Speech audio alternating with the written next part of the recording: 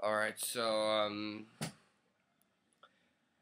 people, some people ask me, why is it that anarchism can't be statist? Well, for the most part, anarchism can't be statist. 99% of it can't be statist. 100% in this era.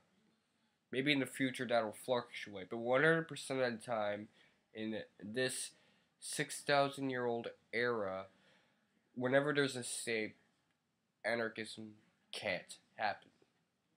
It doesn't work. People don't get that um, hierarchy, organizational structure, or government that they desire, that they voluntarily chose, they un- universally agreed upon. They don't get that because of the state. It gets in the way. I mean, now we have um, United States state capitalism. It gets in the way of free market capitalism, or in more extreme cases with uh, let's see, what do we have right now? Uh, Cuba.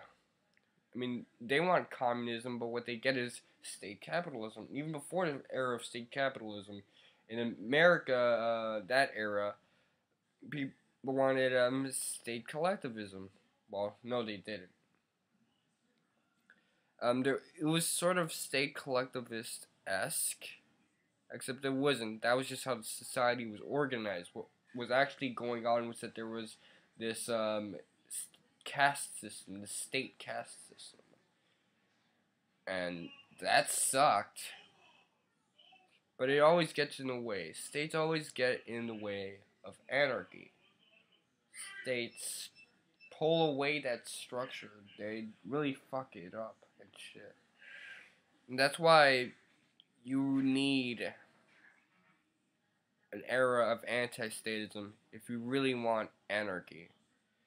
And if you want liberty, then odds are you need anarchy because anarchy is the biggest uh, aspect voluntary association of these hierarchies and organizations and governments and various institutions.